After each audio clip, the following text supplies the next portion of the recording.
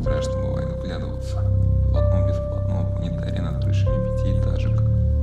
Бывает кажется, что все эти миллиарды лет холодной космической пустоты наступили мне на грудь и давят так, что рев.